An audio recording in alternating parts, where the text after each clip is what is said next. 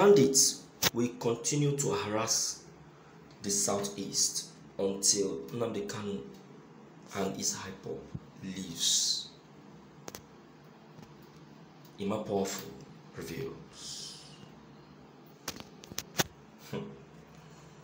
This information came in form of a, a, a, a written letter wrote written to the indigenous people of Biafra that not until IPOB leaves the southeast, not until IPOB quietly leaves the southeast, that the harassment on the innocent citizen of the southeast will continue.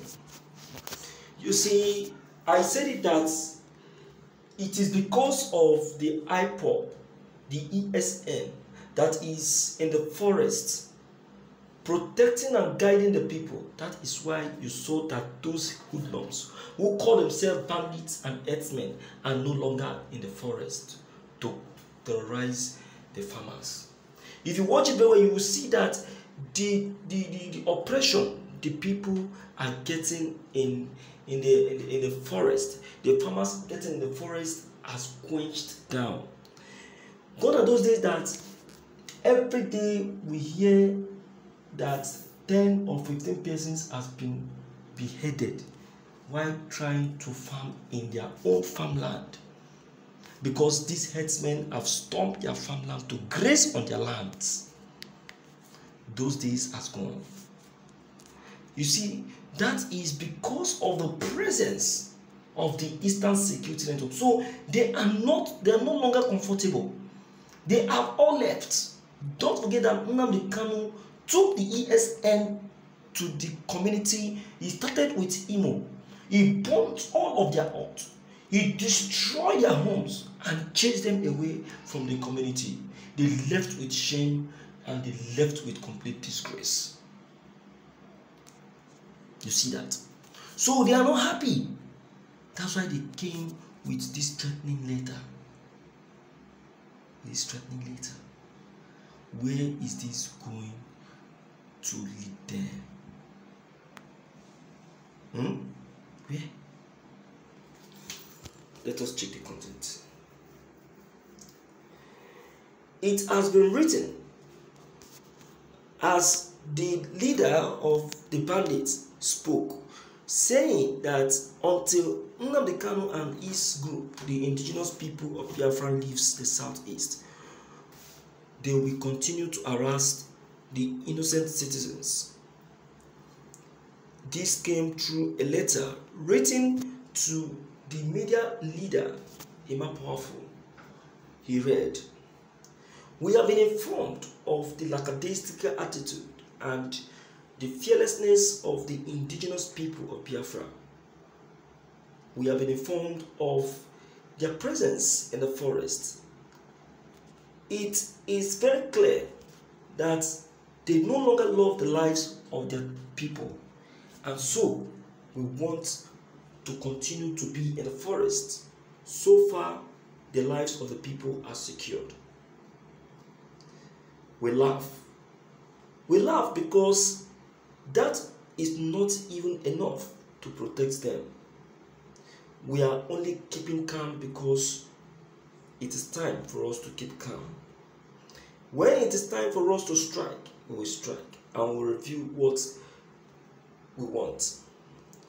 Nnamdi Kanu may just be noising on may just be noising, believing so much on himself, not knowing that the truth concerning him and his group soon be revealed. Hmm. Um, my listeners, well, uh, I'm not surprised because these people, no, the, uh, the, the IPOB are not the first to be to to experience this kind of threat from the bandits. They are not the first. Um, President Mobari himself has also received a threat of this kind in Aso Rock, of which they actually implemented that very threat. You understand? But in the issue of the indigenous people of Biafra, the bandits are welcomed. They are very much welcomed because uh, the ESN on their own side are ever ready anytime the bandit has wished to come. Anytime they have wished to come. These people will not will not escape the wrath of the evils. They are the reason why Nnamdi Kanu took it up to form this very group just because of the way they are terrorizing the community in the southeast.